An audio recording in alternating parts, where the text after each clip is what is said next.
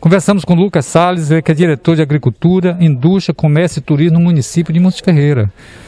E que participou nesta sexta-feira do segundo encontro do secretário de Turismo da Bahia de Todos os Santos, aqui em Cachoeira.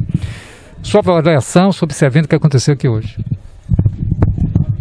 Para mim será importante porque vai favorecer muito o nosso município de Ferreira, vai fortalecer nossa potencialidade e nossa produtividade e junto com essa Câmara a gente vai desenvolver o melhor para o nosso município. Aproveitando o ensejo de forma sucinta, o que é que a administração municipal de Muniz Ferreira vem fazendo com relação à agricultura e o turismo nesse município? Recente, o nosso prefeito Geleno inaugurou o mercado municipal. Estamos fortalecendo a nossa, a nossa agricultura familiar.